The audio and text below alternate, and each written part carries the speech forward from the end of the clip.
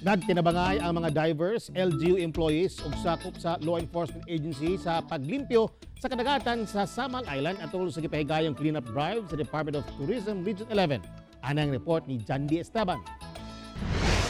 Sa usa ka pagtuon sa tuig 2050, mas daghan na kuno ang mga plastik sa kadagatan itandi sa mga isda. Aron makatabang sa pagkunhod sa mga basura sa kadagatan, ang Department of Tourism ug Samal Island LGU bilusad og cleanup drive kaabag ang law enforcement agencies. Samtang giubanan usab sa One Mindanao ang mga divers sa pagsalom sa kadagatan aron mangolekta og mga basura nga nabilin sa mga corals.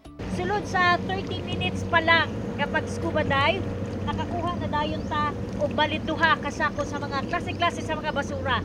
Ang kadaghanan mga plastic. So, kinahanglan yun siya nga protektahan sa regular nga clean up para makuha to na itong mga basura.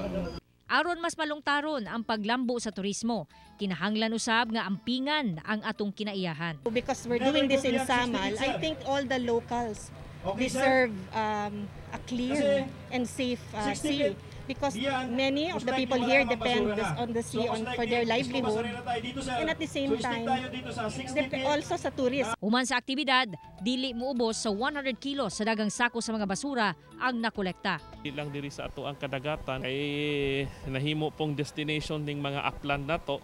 So isa pod na sa gusto nako ma na mabisita pod. Panawagan sa mga Samalenyo ug mga turista nga dili magpataka og labay sa ilang mga basura aron mapahimuslan pa sa musunod nga henerasyon ang kaanyag sa kinaiyahan sa isla sa Samal.